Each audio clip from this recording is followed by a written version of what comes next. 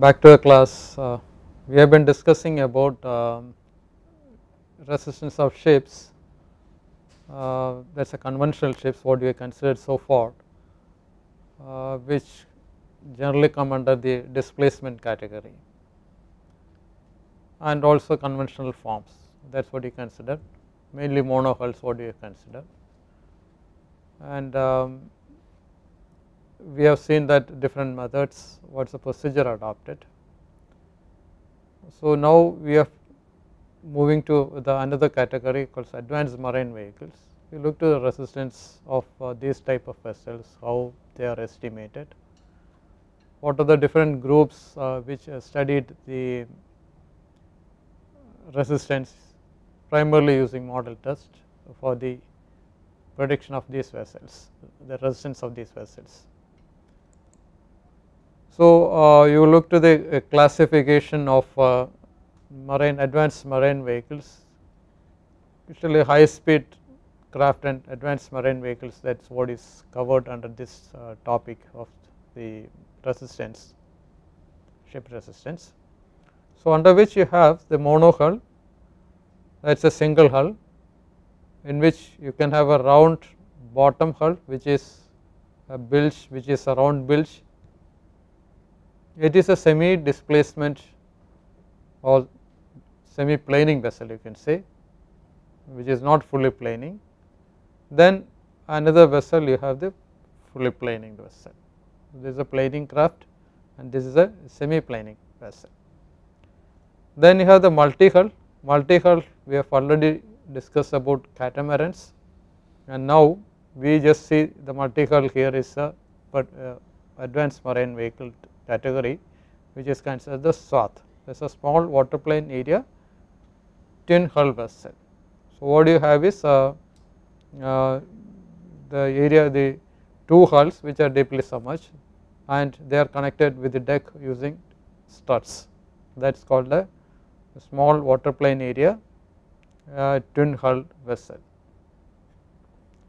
Then we have the hydrofoils, hydrofoils that is using the foil beneath and uh, the hull of the vessel usually small craft. So, there are two types of uh, foils used one is a uh, surface piercing foil and other one is submerged foil. If you consider um, a vessel of a cross section view vessel floating at this line one type of foil system is like this which is connected to the vessel. So, this foil has which is surface piercing.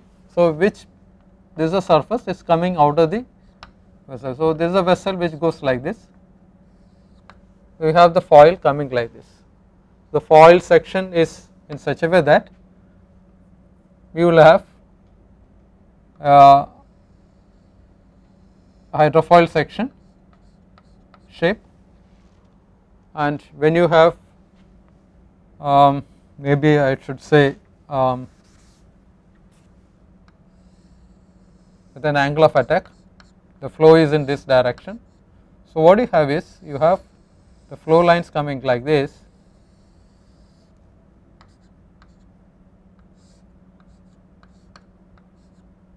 this is a section and this is a flow which results in an unsymmetry of flow you see the flow velocity at this direction at this uh, position or at the lower side it is going to be less. So, here the velocity is less and whereas here due to that you have the higher angle of attack you can see that the flow velocity is going to be higher. So, here the velocity will be higher. So, when there is a low velocity this is a velocity compared to you say it is u infinity this the velocity here is going to be higher than u infinity here at the upper side and at lower side it is going to be less than the free stream velocity. So, due to the flow velocity reduction here there will be an increase in pressure and here what happens the pressure will be higher and due to the increase in velocity there will be a reduction in pressure at that surface top surface. So, there is a variation of pressure on the either side of the foil due to the velocity change. So, due to that there will be a resultant pressure which acts maybe some in the direction. So, you have high pressure region this is a low pressure region. So, you find out integrate the pressure over the surface you get a resultant force and that force when you resolve along the flow and normal to the flow if it is along the flow you call it a drag component this is a drag component and this is a lift component. So, that is the principle used here. So, here if you take the section what is show here it is a basically a section taken over the foil. So, due to this effect there will be a hydrodynamic lift which push the vessel up. So, it may reach a stage where the whole vessel may come out of water only the foil is beneath that and here this foil is partly above water and partly below water. So, that is why it is called the this is called the uh, surface piercing foil. The hydrofoil craft the basic principle of hydrofoil craft is there is a foil system which is submerged it is below the hull partly or fully submerged. So, when it moves through water at higher speed it generates lift which is sufficient to push the vessel up. So, vessel is now become a foilborne condition where the hull part is fully out of water and reduces the resistance and hence it can achieve higher speed which we discussed in the uh, also discuss when we discuss about the resistance of in general. Another type of vessel is the same thing what you have is the hydrofoil craft then you have the foils just coming down then you have foil system here.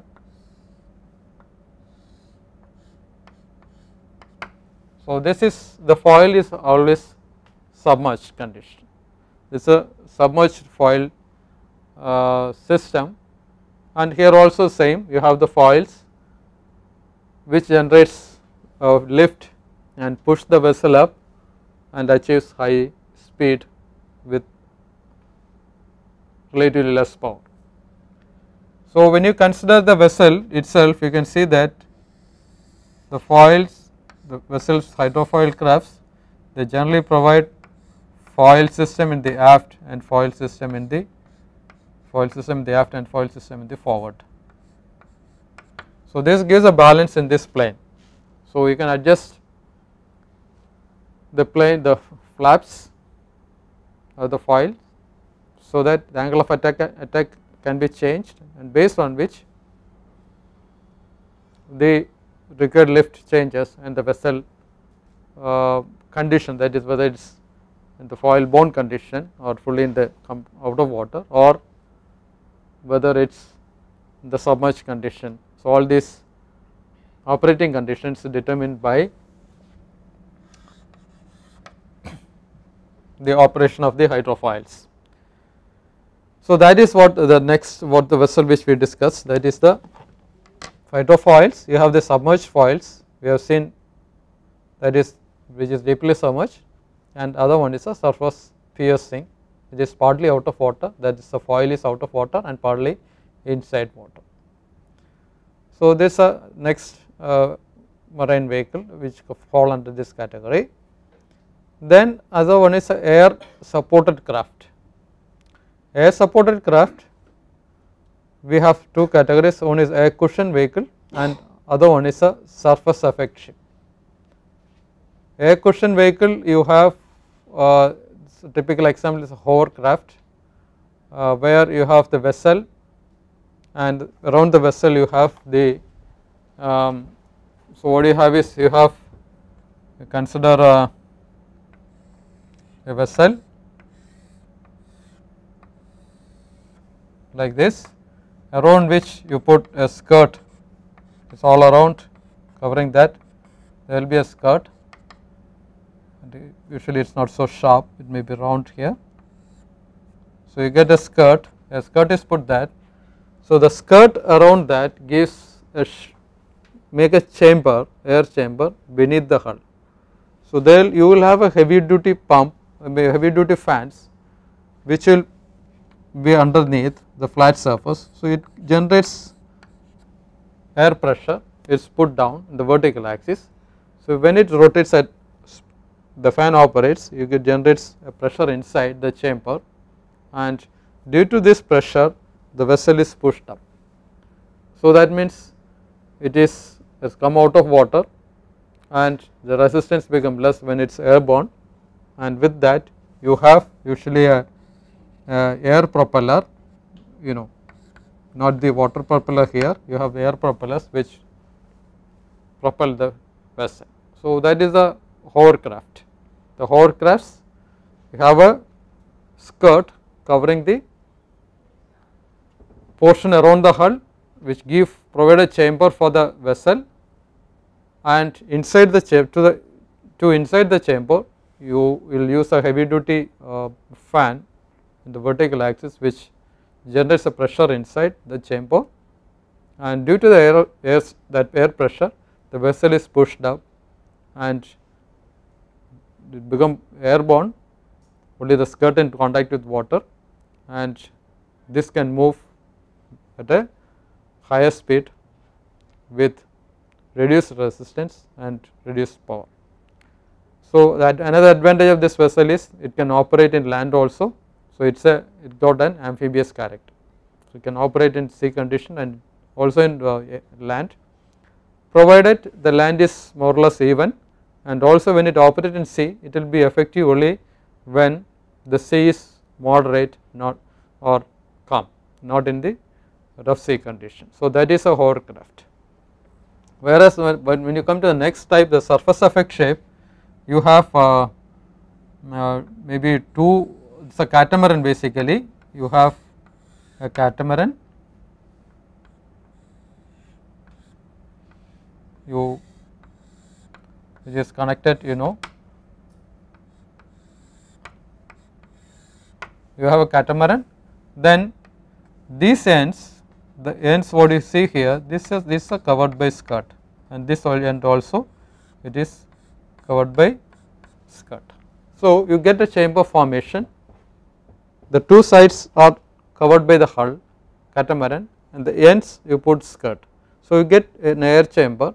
Again to that air chamber the same principle what you adopted for the hovercraft air cushion vehicle. Using the fans you generate pressure inside. The vessel get lifted due to the air pressure. And when it is airborne condition naturally it is going to be a reduced resistance and it can move on. So that is called the surface effect ship. Surface effect ships are generally twin hull or it is a catamaran type whereas air cushion vehicles under which comes hovercraft is a monohull with a skirt around it. So there is a difference between these two type of vessels.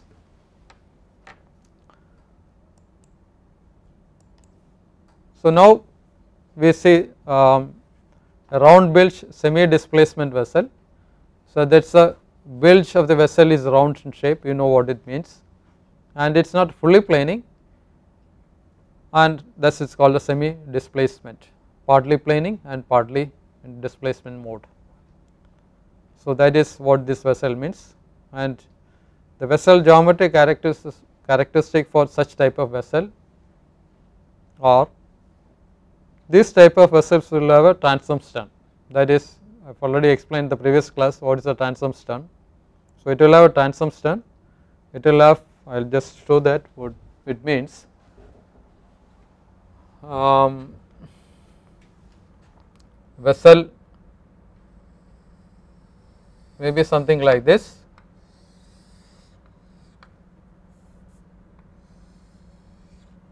So the, this is a transom stern you can see that transom it may be vertical or slanting it is a transom stern.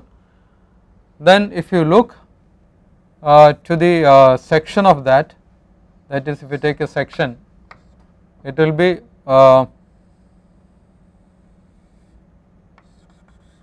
a, this is a round bilge. So, this is a characteristics of the form of the vessel it is going to be a transom stern and the bilge is a round shape. Then rise in the aft body buttock line. So, you have rise in the body. So, the shape will be something like this you have this here and it may be like this. So, the buttock line means it is this plane you have the shapes going the lines parallel lines is going like this. So, this is a which will have a rise in the aft body buttock lines. So, when it comes to the aft side there is a rise in the form that what it means and maximum operational volume Froude number the volume Froude number is you can see that the Fn delta is equal to uh, V by uh, square root of G into delta power one third. So, that is what it means the volume Froude number. So, that is uh, value is about approximately 2.5. So, that is what it is uh, here. So, that is a general characteristics geometric characteristics of the vessel it is going to be a transom stern vessel round bilge rise in aft body buttock lines that is when it goes to the aft side the form it goes up slightly then the Froude number volume Froude number is given by approximately this so that is relatively high speed it is a high speed vessel um, given by this. And uh, so you can see more uh, information about this vessel from these references by Van Oossanen and Müller-Graf you can see that you will get more reference about that. So we see some of the uh, types of uh, you know vessels coming under this category. That is semi uh, displacement type. It is a round bilge and semi displacement that is what I put RB SD means round bilge semi displacement vessel. So one of the series here is Nordstrom series. So here you can see this based on the test carried out in Royal Institute of Technology in Stockholm. So they did with 14 different round bilge models and uh, 5 of which tested at more than one draft. So they have uh, for the same vessel they performed tests for more drafts and uh, the results obtained experimentally are tabulated presented and used for uh, design analysis. So here you can see the form you can see that it is a round bilge uh, and you can see here it is a transom it is you know flat here transom and it is having a buttock rising you can see the shape is going up in this region towards aft and or this is the water plane these lines what you see is a water plane. So this is the form of this series and see it is the work carried out by the Royal Institute of Technology in Stockholm and uh, the results presented by them uh, based on the results. So here what they have done is as I said before they have for different models they have considered different operating tasks and form a systematic series based on the results resistance obtained from that they have presented it but it is usually small vessels you can see that the volume displacement is approximately 10 to 30 meter cube. So they consider only a small craft. So this is a round bilge semi displacement vessel Nordstrom series this is the form of the vessel and this is the explanation about the uh, type of test carried out. So we go move to the next one saying again it is a round bilge semi displacement vessel. It is a series 63 and you got you know 1963 is the year in which it has been published.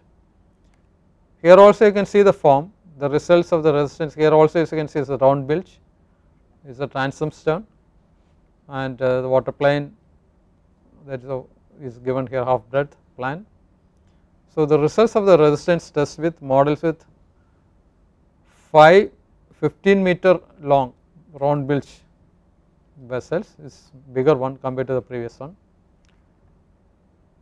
So that is what is reported at base. So you have 5 models 15 meter long. The test results are carried out in uh, Davidson Lab in Stevens Institute of Technology in New Jersey. They have uh, this is the experiments carried on the towing tank there. The models for methodical series in that all the 5 models are geometrically similar models that is what they used.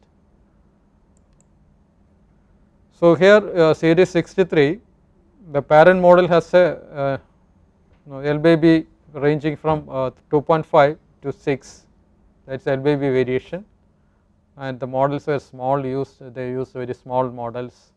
Obviously the smaller model because of the tank uh, carriage uh, speed limitation and also the carriage size limitation the um, model size is reduced because you want to test at high speed. You know that for the based on the Froude condition the uh, model speed comes down uh, with a reference to square root of the scale is not it model speed is equal to ship speed divided by square root of lambda. So when you make the model size smaller then the speed of the model also reduces.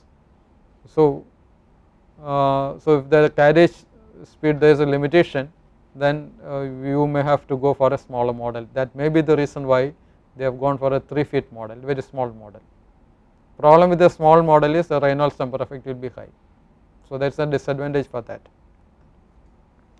So to obtain the same length to displacement ratio for the model with L by B is equal to 2.5 as for the model. So what they did is they tried to retain the same L by delta raised to one third and they have naturally they have to change the values of other parameters and including the draft of the vessel to match this to get the same displacement they manipulate the other dimensions mainly the draft. So for the difference in the resistance value between the different models at equal so you are considering equal length displacement ratio that is L by delta power one third and the Froude number values cannot be attributed solely by change difference in L by B. So what you do is you change the draft of the vessel uh, you can see that different drafts are used for the um, to get the same uh, length to displacement ratio. Uh, so there will be uh, an influence on the resistance of the vessel due to this limitation you are trying to adjust the length to displacement ratio by changing the draft or other parameters. So actually there will be a uh, prediction maybe slightly different. So the percent residual resistance values are derived from the measured total resistance by means of so use an 8 ATTC same as uh, this American towing tank conference there is a line. So use the frictional resistance from using this formula from the measured total resistance of the model you reduce this and then you get the residuary resistance coefficient of the model which is tallied with the that of the residual resistance coefficient of the ship. So that is the model what is used. So next we move to uh, this type series 64 you can see here this is a reference series 64 also almost uh, follow the same you can see there is a rise angle here then is a round bilge then it looks like there is a tumble home for the vessel you can see this going inward so this is a shape this is the form of the uh, vessel considered. Then it is also having a transom stern here. Uh, so you can see the details here. See the water plane is very narrow here. That is angle of entrance is very small here. And also the is having a rake stem. We see that what is the description about the model here. Model used displacement uh, type hull up to Froude number of 1.5 that is what is used is a displacement form and Froude number up to 1.5 this is a high speed displacement vessel. Parameters chosen for the model are block coefficient, B by T, breadth to draft ratio and length to displacement ratio. C prismatic coefficient was kept constant at 0.60 so so whenever you do perform model test naturally you try to freeze some of the parameters and the other parameters to see the influence of the parameters on the resistance. So here Cp is kept constant at 0.63. It is a heavy rake stem you can see that this is a rake this inclination is high so it is called a heavy rake stem uh, and no bulb there is no bulb it is only a straight um, stem. Fine uh, entrance angle you can see the angle here this is the water uh, the half depth plan. So, the angle is very small. So, half an angle entrance is usually kept small for high speed vessels. And transom stern with a round knuckle you can see the transom stern. And this is a you know round thing.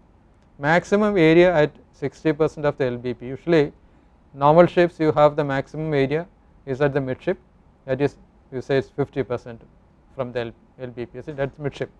But here here the forward side is uh, more fine and the maximum section area is pushed uh, aft of the uh, midship. So that is it is 10 percent aft.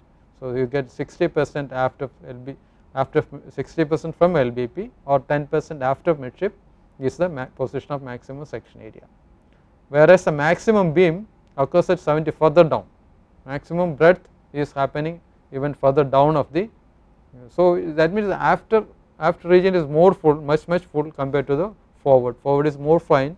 So that is the shape of the vessel. Longitudinal position of center of buoyancy it is 56.6 percent from LBP that is from the forward side. From here it is 56 point that is it is about 6.6 percent after midship. So again that shows that the volume concentration is more towards the aft of the ship. So number of model stresses 27 all of the same length that that is what they considered. Towed without appendages or turbulence stimulation. So there is uh, no appendages like rudder or uh, bilge keel or shaft bossing and all that given there.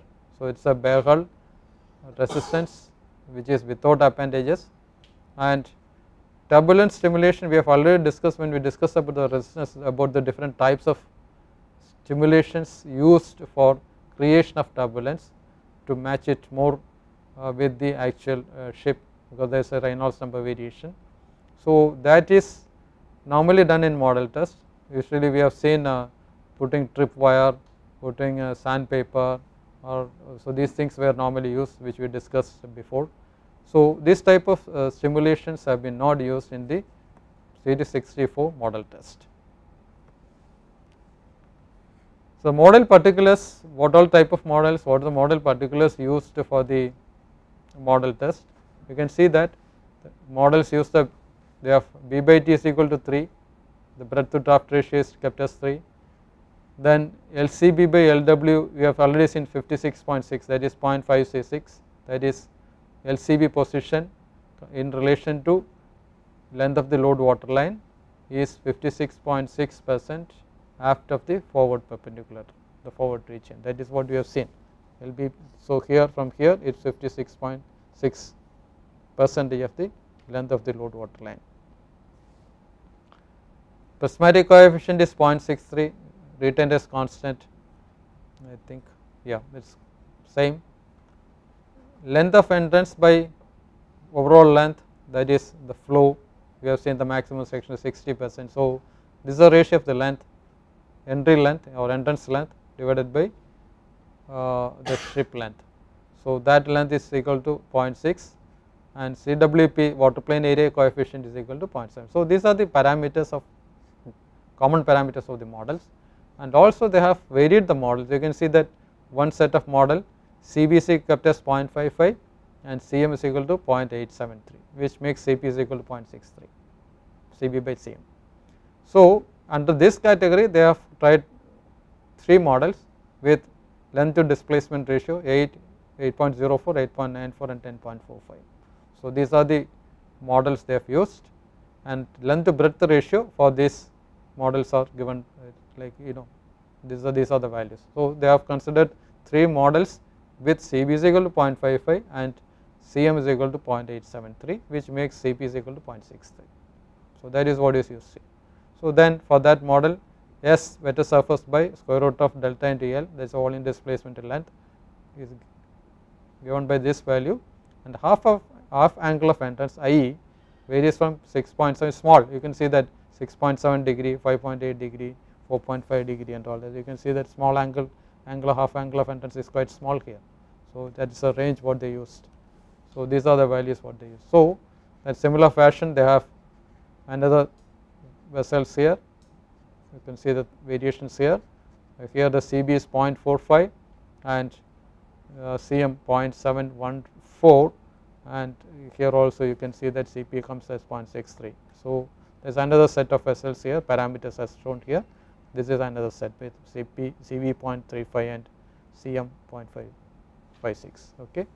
So, these are the values uh, used for the models or some model particulars. So, based on this analysis the resistance tests have been carried out and the results are obtained and the results are put in a non-dimensional form the residual resistance component RR by W, W is the weight.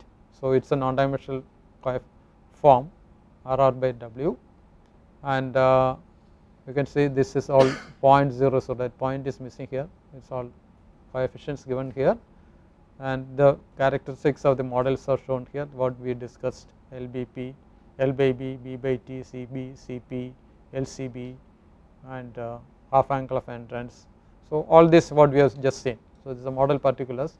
So, what is done is they have plotted this value residual resistance coefficient against length to displacement ratio. So, this is the length to displacement ratio and this is the residual resistance coefficient. So, then each curve represents for a particular displacement Froude number f and delta. So, okay. So, you find out for the vessel what is f and delta then you find out what is L by delta raised to one third. So, you just find out the curve and take the value of RR from here. So, that is how the resistance data has been presented.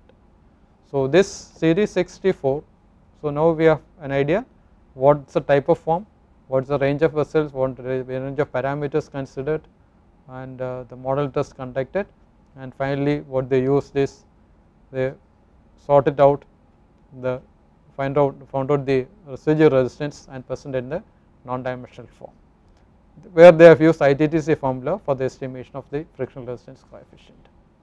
So, you know the procedure now once you get the residual resistance how to proceed to find out the total resistance of the vessel. So, that is a series 64 vessel. You can see the data numerical data is also provided here. Series 64 resistance data that is a resistance coefficient to 1000 that usually put uh, uh, into 1000 because CR values are small coefficient. And here this is for the CB of 0.35. So, you can see here what are the things given?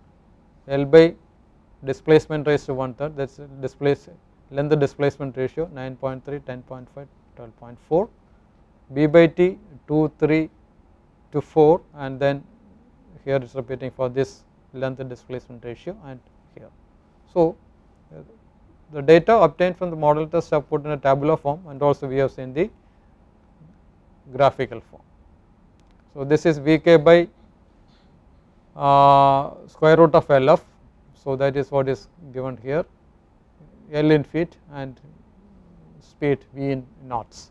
So, this is the values. So, you get the CR from here that is for the case of CB is equal to 0.35.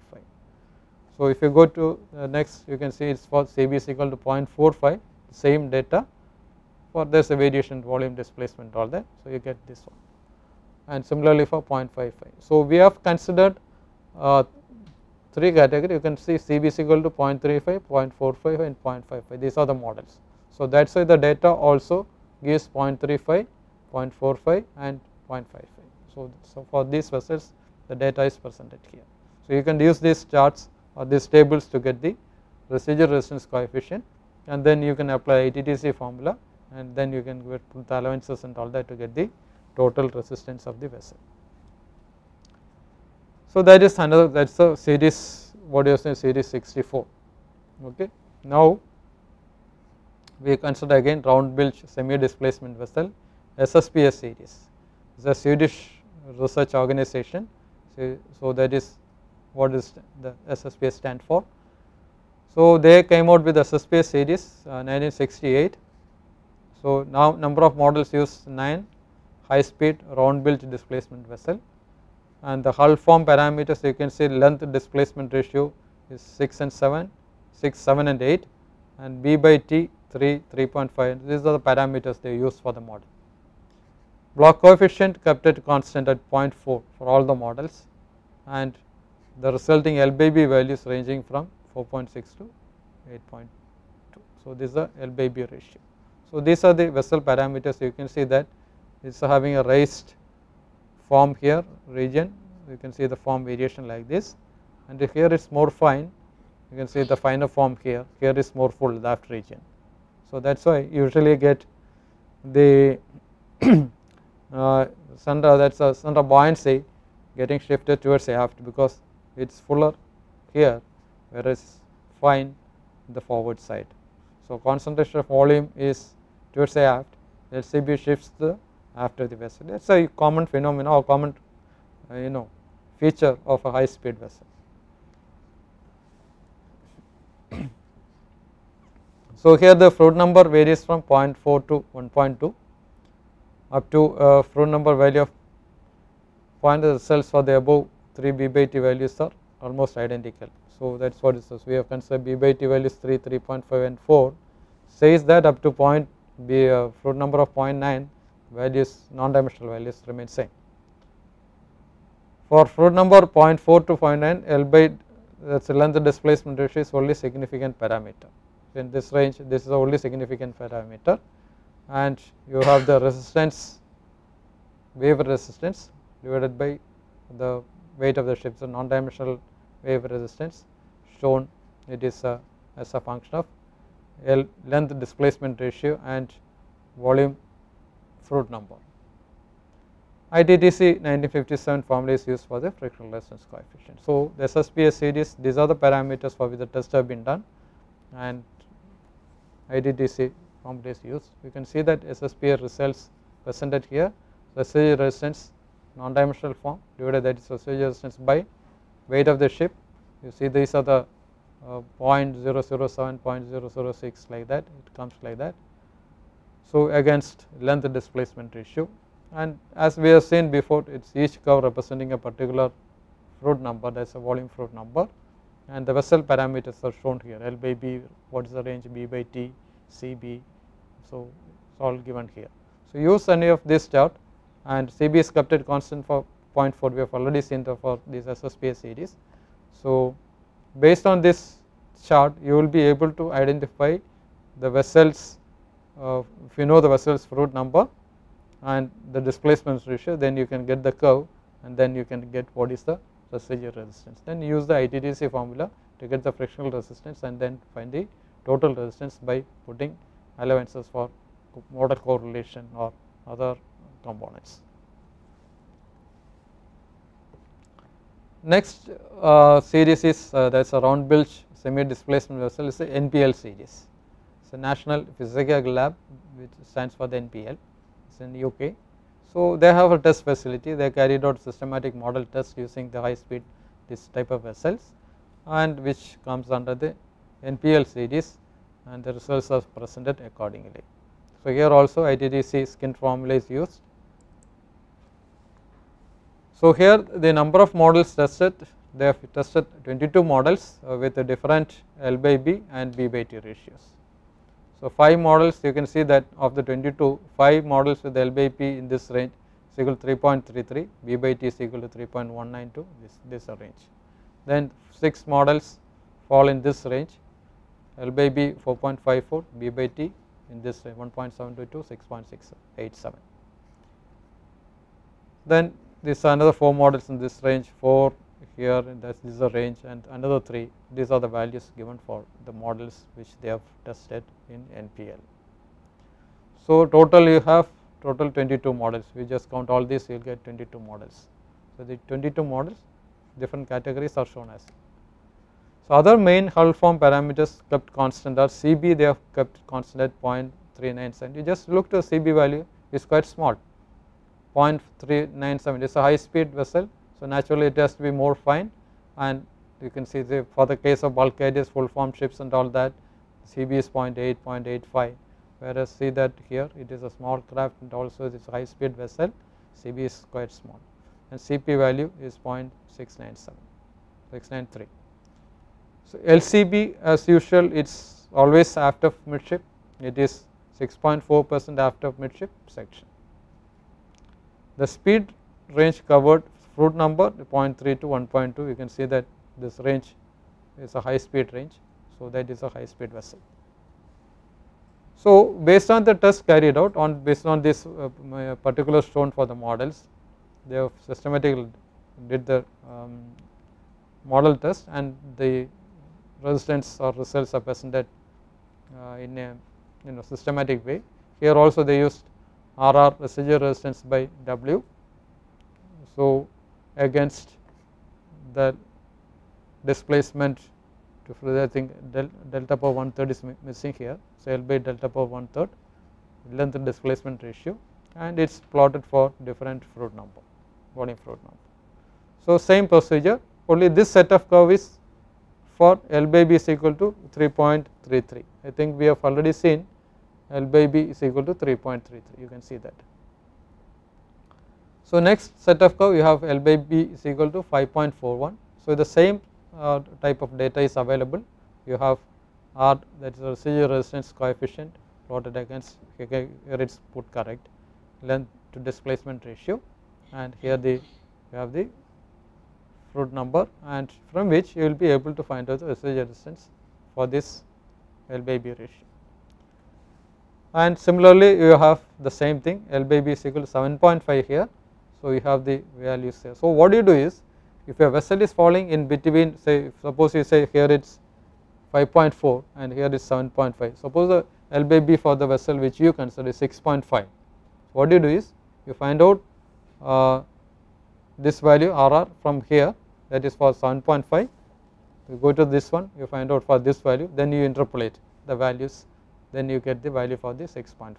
So that is what you have to do when you Uh, consider a vessel which fall not exactly the same value of L by B maybe something in between provided other parameters other characteristics are matching with the experimental data. So you can use these charts even for these values intermediate values where you have to perform a interpolation even for Froude number also if you say it is 2.7 you do not have a curve for 2.7. So what you do is you take the value for 2.8 take the value for 2.6 for the same length displacement ratio that is you find out a particular suppose length displacement ratio 8 so you just come here you read the value for RR and same thing then you come here you for the 2.8 so in between you interpolate. So you have to do one or two or more interpolations to get the correct value for the residual resistance coefficient when you use these charts so that is how these charts are used. So the next one is again, again all these vessels come under the round bilge semi displacement. Round bilge semi displacement, the semi displacement means it is high speed but not fully planing. So that is the difference. So here you have to here this is a de Groot series is also you can see that you presents that RRW that is our resistance coefficient against length to displacement ratio for different volume Froude number. So, the parameters L by B what is used is I yeah that is more details given here the test with 31 round bilge uh, high speed hull forms then 7 of which were tested at 2 or more drafts. So, the same vessel they performed it for different drafts uh, for the model test. So these models were tested at the NSMB Netherlands um, ship model basin is a very good uh, hydrodynamic test facility they have. Um, then it is done there 4 of this uh, of the 31 models 4 of this model each tested for 4 draft. So different they have done it for different draft consider small systematic series. So you they made another series based on the 4 these results. Then uh, test with another 4 models are carried out in the towing tank at Delft University in, again in Netherlands. Then the results resistance for all the 31 models carried out and they have used ATTC friction coefficient formula. So that is uh, what and based on these results they have plotted the curves here. So the curves you can see L by B for these vessels range from 3.53 to 10 more than B by T ratio given here. So you look for the vessel which you consider whether it is following the same series that is the form is following it and also the parameters match it. If that is the case you can use these charts. Now you have a set of charts, set of data for the round bilge semi displacement vessels. So, the round bilge semi displacement vessels we have seen many charts. Uh, so, and we know the applicability range of these charts or this data and when you design a high speed semi displacement vessel and you can go through these charts and find out which chart is appropriate for the vessel which you consider by looking it to form, form coefficients, length or other uh, dimensions and dimension ratios. So, you have to look to that then you choose which is more appropriate and then you can use the data here. So, because you do not know the initial, at the initial stages of the design what is going to be the power resistance and all that. So, this gives an indication you can have the form also you will get an idea what is going to be the form of the vessel and also you will get information about the resistance from this uh, data sheet. So, with this uh, we have conclude this uh, session of it about the round bilge uh, semi displacement vessel. Maybe in the next class we will look into the other types of the crafts, the resistance estimation, how it is performed uh, like the planing crafts and uh, other things we have seen multi-hull air cushion vehicles and um, surface effect ships and all that. So, we will continue the next class with the other topic. Okay, thank you.